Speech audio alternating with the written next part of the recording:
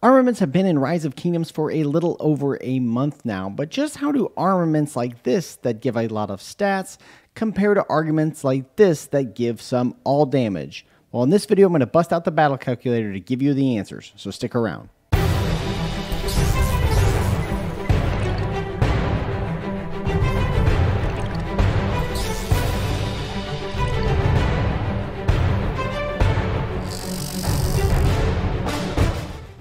What's up, everybody? Psycho here, the Rise of Kingdoms video.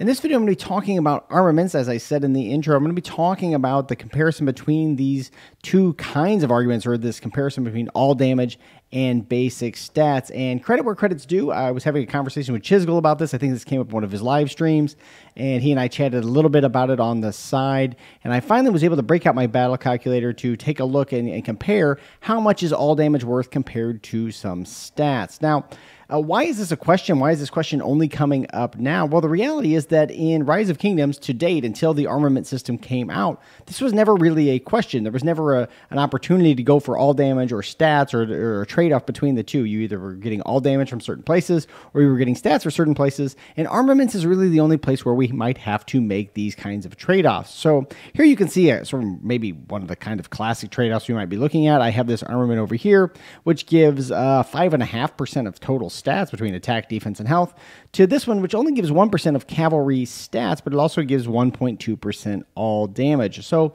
how does this compare to that armament, or which armament is, is most valuable? Which armament is best for my commander. Now, I'll point out something here. Of course, I can add inscriptions to both of these. Neither of these have inscriptions. We can also get into questions like this when we get into armaments like this that have inscriptions as well.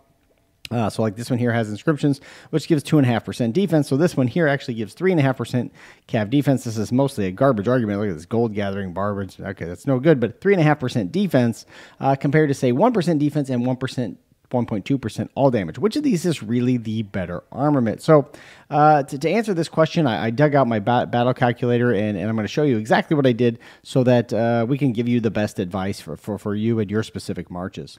So I'm going to jump over. To okay, jumping over here to the battle calculator, we see uh, a couple of things. And, and, if you haven't seen these videos or videos where I've talked about the battle calculator before, I'll, I'll, put a card at the top for a previous video where I've talked about this battle calculator. But this is really the kind of thing you need if you want to understand how does one march compare to another march, or, or what does changing one piece of equipment or what does changing one stat do to a particular march. And so in this particular case, you can see that there's all kinds of things we can put into this calculator. And I'm going to start here at the top. You can see that we have a march of Boudica YSG. This is the equipment. I have all of the equipment set up here, right? You can pick any piece of equipment you want. And then I select that piece of equipment. I can put it with a special talent. I can give it iconics. In this case, we're going with gear that is fully special talented, fully iconic.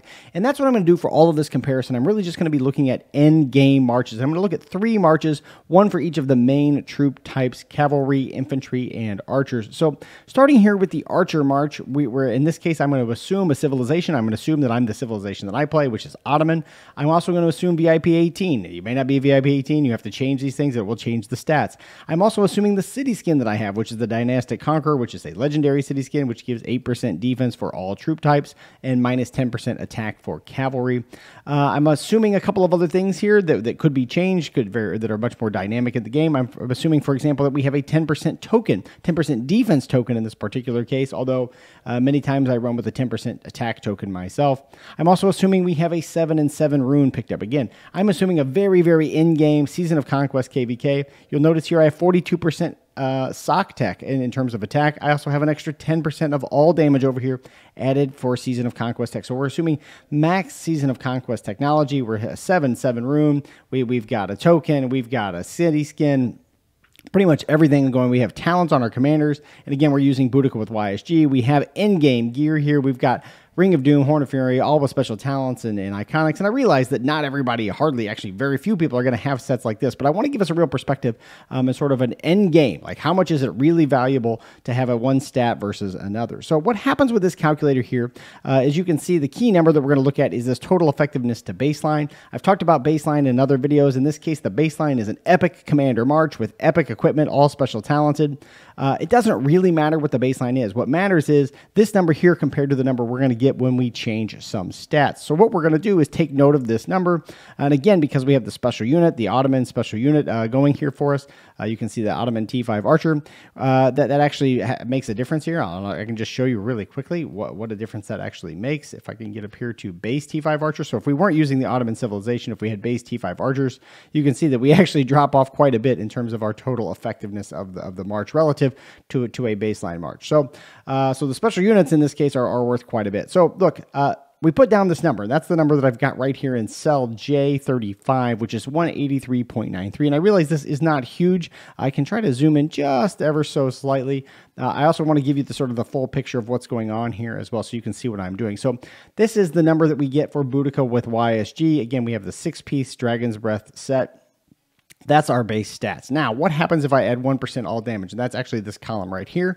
I can just add 1% as just, let's imagine we have some tech bonus. Again, in this case, it's armaments, adding 1% all damage. If I put that 1% all damage, we see that our number down here, our total effectiveness has changed to 185.53. That's the number that I have right here.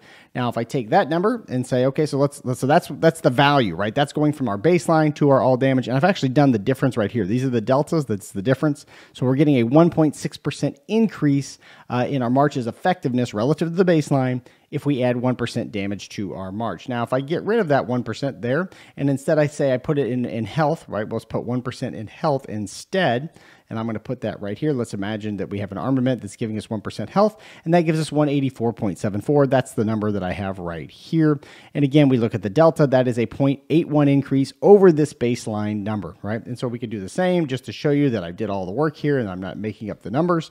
Uh, we get uh, a 1% defense increase. That's 184.45. That's this number right here.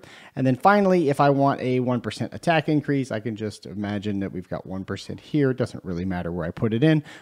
184.51. Okay, so that's, and, and so those are those are those, uh, the, the numbers there. And then again, the deltas, how much did it actually improve the march? Interestingly, you might notice there that that attack, that 1% attack actually improved this march more than the 1% defense, which I think is something um, sort of worth noting on your Boudica YSG March.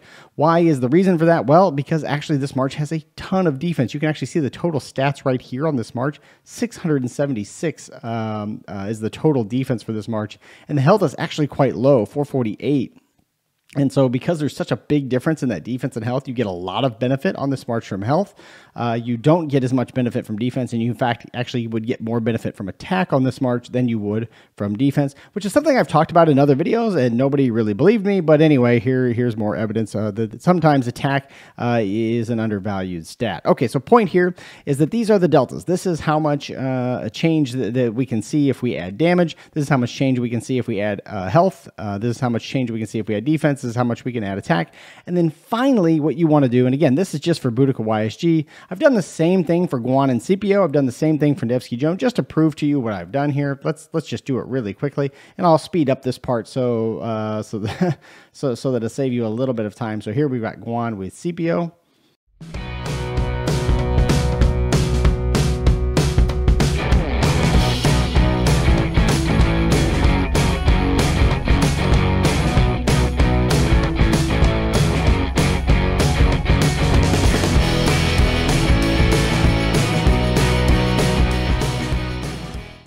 So this is what would happen if we did uh, Guan with Scipio with a two KVK pieces. Again, both iconic, both special talented. Again, not very many people are going to have this, but it doesn't really matter. This just gives us a point of comparison. We also have a two-piece uh, bonus from the uh, vambraces of the Eternal Empire, the sturdy boots of the Eternal Empire, giving us a base of 144.59, which is exactly the number that the calculator generates here. And if I add 1% damage, just to show you that this all works out. 146.14 okay i'm not going to go through all of these. You're just going to have to take my word for it that i also did this for nevsky and joan and i did this for guan and scipio. I just did it for those three marches. Again these are very premier in-game marches. Nevsky joan guan scipio boudica ysg that's the base. That's what happens if you get 1% damage increase uh, 1% health, 1% defense, 1% attack, and then finally these are these are those deltas. And then the last number, the numbers that I think we really care most about for this question of what's more valuable or how much more valuable. We know damage, all damage is more valuable than a stat because uh, the way all damage, the, the way the battle formula works, all damage is calculated at the end. So we know that all damage is worth more, but the question is how much more is all damage worth? What stat trade off would you give for that all damage? And the answers are right here. So for uh, Nevsky with Joan, uh, we see that we need 1.79% health to match 1% all damage. We need 1.89% health on Guan Scipio to match 1% all damage. We need 1.975 or 1.98% health on Boudica YSG to match 1% all damage. And if we look at defense, we see even different numbers here. We see 1.85. So for Nevsky Joan, you actually um, only need 1.85% defense, which is really close to the health to, to match 1% all damage, right? So 1% all damage is worth 1.85% defense on Nevsky Joan, but you need a whopping 3.04% or 3.08% on Guan Scipio and Boudica YSG. Why is that? Because uh, because their health is their health and defense are so out of a line on those marches. They have so much more defense than health.